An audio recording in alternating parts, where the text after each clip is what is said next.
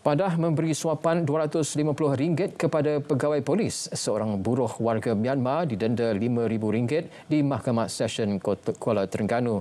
Terduduh Muhammad Syakir Muhammad Zokoria, 27 tahun, turut berdepan hukuman penjara 6 bulan sekiranya gagal menjelaskan denda berkenaan. Keputusan dibuat Hakim Nora Shima Khalid selepas tertuduh mengaku salah terhadap pertuduhan berkenaan. Mengikut pertuduhan, tertuduh didakwa memberikan suatu suapan iaitu wang tunai RM250 kepada seorang pegawai polis berpangkat inspektor. Ia sebagai dorongan untuk tidak menangkapnya atas kesalahan tidak mempunyai lesen perniagaan barangan lusuh.